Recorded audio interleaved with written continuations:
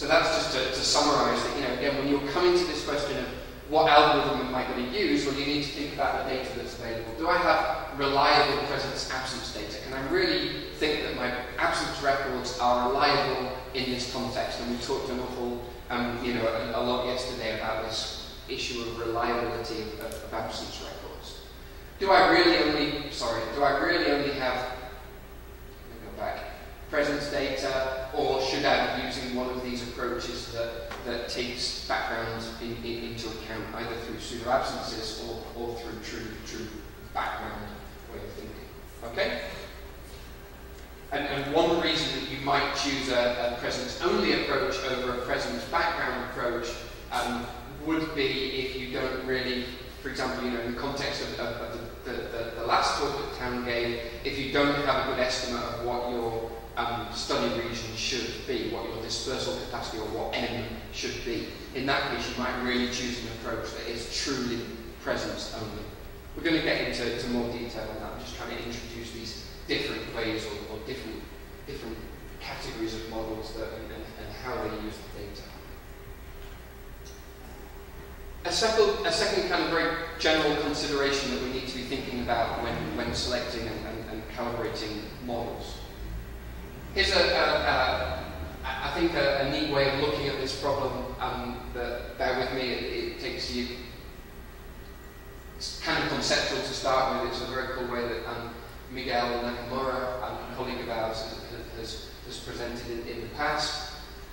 Let's suppose that we have some, um, some relationship between, between two things. So this can be extremely generic, but in our context, this is probably going to be the probability of the species occurring against some environmental variable, say temperature. Okay? But let's think about this generically. This is a relationship between two, two variables. And this is the truth. Okay? That is actually in nature what that relationship. And I'll mention in a minute that that might be not a good example. You know, this might be a little bit of a complex relationship that, that might not really be the case in nature, but, but that's our truth. Okay? So what do we do? We go out and we take what we refer to as a, as a training or a calibration sample. These are those points, you know, we go out in the field, we find our occurrences of the species, and they tell us something about that relationship between the kind of probability of finding the species and um, some environment, temperature or precipitation. So these are our, our training points, okay? And what we're going to do is we're going to build a model. We're going to build some simple model that, that, that estimates what that relationship is between these two factors. So um, between x and y, if you think about it just very conceptually. So this might be just some very simple linear model that kind of makes sense looking at it, um, that, that, that we're fitting through those points. Okay, then what do we do? We go back out into the field and we take some test points. Okay? So we go back out and we take some more records from, from, from, from nature, from, from, the, from the truth. In practice, in what we we've been covering this week, we might just divide our original, say, 100 localities or 10 localities or 20, however many we've got, into some points that we're going to use to build the model, to, to fit the model, and some that we're going to use to test the model. But what we have are these test points and these training points, okay? All of which are taken from the truth. So, what we can then do is calibrate, or, or, we can take some sort of training error. We can say, well, how well does our model fit the points that we used to build the model? Okay? And that's just represented by these blue lines here. Of course, the difference between what the training point was and what the model said was, you know, there's, there's some sort of kind of error here. Then we can go out and we can do the same test points.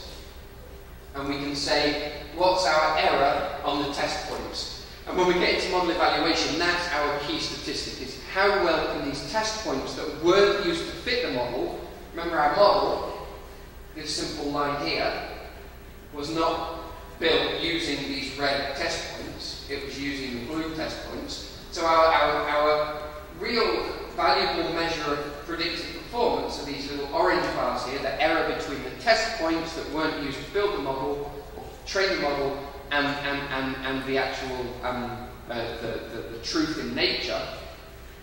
Okay, so, so, so that's, that's one example. Let's contrast that. Let's take the same truth, let's take exactly the same training sample, these are our points from nature, these are, in our case, our current records, and let's fit a much more complex model. Okay? So let's fit some sort of model that can fit more, uh, more complex responses. Looks nice, right, in some, in some respects. Remember, we don't really know the truth here. All that we know are our observed occurrence records, um, and we fit a model that kind of nicely fits through them. Again, we go out and take the same test points. So we're going to use exactly the same test points. And we can take our training error. Well, our training error is extremely small, right? Because we fit this really complex, really cool model that fit straight through our points, looked great. But then the error on the test points, these model, these um, localities that the, that the model didn't see, didn't see, is much, much higher than with the more simple model that didn't fit the point so well, but gave a more realistic um, impression of what nature was really like. Okay? And this is getting at this point of overfitting, and this is a real risk and a real serious issue um, with this field at the moment, in, in particularly at the moment, because as the modelling algorithms kind of get more impressive, get more complex, they're able to fit these much more complex response curves, we refer to them, these responses between environmental variables and the probability of, a species occurring, we have this real issue of the potential to fit to the training points extremely closely, but then lose predictability because we have overfit to the training points. And here's, a, here's another slightly less conceptual way of looking at it. This is our environment. Just look at this, this part A here. This is our environmental variable. Again, this might be temperature, precipitation, uh, water holding capacity in the soil, uh, salinity in the ocean, whatever. Um, and this is our probability that the species occurs. Now, the blue line here, conceptually, is kind of really, I think, nice representation of what might be the case in nature. Got a high probability of occurring at some intermediate value, and then that drops off nicely um, uh, at, each, at each end. This red line here might be a classic example of a model that it kind of overfits to this response curve. Okay? So if our training points just fit on this red line, we might be able to fit a curve that really fits through the training points, but it's overfit to this model. Okay? Now, by contrast, we might have a model that underfits, and this would be the case um, with a very simple Bioclim model. Um, if we simply, and, and, this will make a little bit more sense when Enrique's talked through what Bioclim is, but essentially all we're going to do in this case, suppose we just say, well, let's say that the, the, the, the lowest value that's associated with an occurrence record, we'll say, is, you know, at, at 10 degrees, and the highest value is at, say, 30 degrees or at 20 degrees, and then we'll just say that the probability of occurring within that range is, you know, extremely high, and outside that range is extremely low. So it's a kind of, you might refer to it as a box model, because we're not really fitting a response curve, it's just saying, well, within these bounds of where we've observed the species, we're going to say that the species could occur. So there's a high probability, and outside there's a low probability. And we're going to say that's kind of underfitting to this true response curve. Okay, so that's the more conceptual way of looking at it. Let's now plot exactly that information in, um, in niche space. So again, this is now looking in two dimensions. This might be temperature versus precipitation, for example, or um, any other number of, of, of dimensions of the niche. Okay, so these black records are our true occurrence records that we use to build the model. Remember, we, we actually on the, the diagrams yesterday, there were little crosses. These are just our known occurrence records. The blue here then is actually kind of abiotically suitable area. This is actually what we're saying is, in reality, the, um, the niche of the species. Now, a model that was overfit in niche space is going to look something like this. Okay? It's going to, because of the complexity of this response curve, it's going to fit very neatly and closely around these occurrence points. You might just have this one point here that we're fitting the model around. By contrast, this kind of um, very simple climate envelope, of box model, is simply going to say, well, within these bounds, we're going to say, you know, as I said, like 10 to 20 degrees, or maybe from X millimeters of precipitation to Y meters of precipitation. We're going to kind of draw a box around that and say, well, it could be present anywhere within that area. that might be kind of underfitting. It's predicting a broader area than um, or, or within niche space than, than, than, the kind of true um, niche that, that we're saying is, is represented by this blue area. Then let's put that into geographical space and what we might be, you know, if we visualize the same, again, the true distribution, and this kind of maps on kind of neatly to the kind of diagrams that I was showing yesterday conceptually. Um, you know, suppose we have this kind of abiotically suitable area here and a couple of patches out here. Well, the overfit model is going to just predict, um, is going to pick out just these very few areas, smaller areas that fit neatly around the training points. But if we took some um, test records from these areas that might also be um, habited, be inhabited because they are abiotically suitable, then this overfit model is not going to predict those.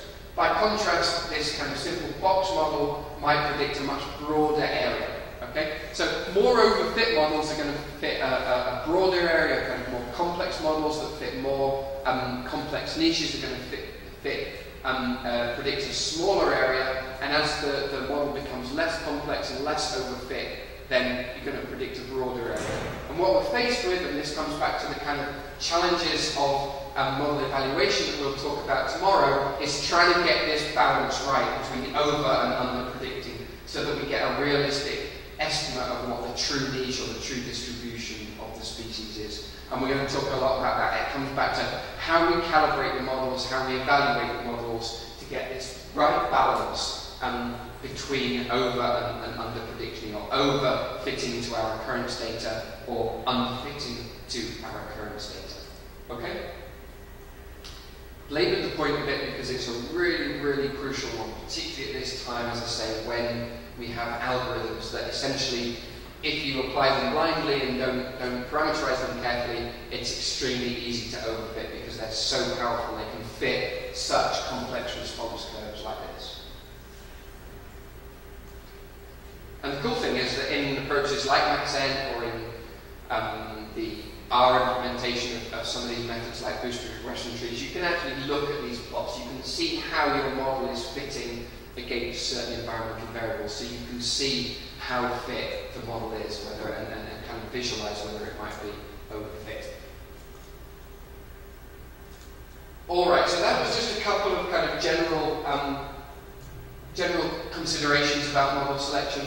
The final thing that I wanted to just um, touch on was, is it really important which, which algorithm I choose? okay, we've emphasized that they're all trying to do the same thing, but does it really matter if I choose a Bioclim model or a MaxEnt model or a neural network or a GARP or whatever? Um, I'm going to give you an example that kind of illustrates that, yes, it can make a huge difference. It's a bit about, I think we're finding it's a bit of a worst case scenario, and I've picked out a couple of species that really emphasize this, so I don't need to scale with this, but the point is that the models can make a big difference in the predictions this was some work that we did. It, it, it's published. There's a couple of papers that cover similar ground, um, and, and the, the, the, references are, are, at the end of the presentation. We took um, a, a, few species of, of, Proteaceae in South Africa, so these are the um, uh, plant uh, group that, that, that's um, uh, endemic to, to, South Africa. We took a, a totally standardized data set. Um, so we, we, took exactly the same presence records, exactly the same uh, absence records, um, really cool data set, exactly the same environmental variable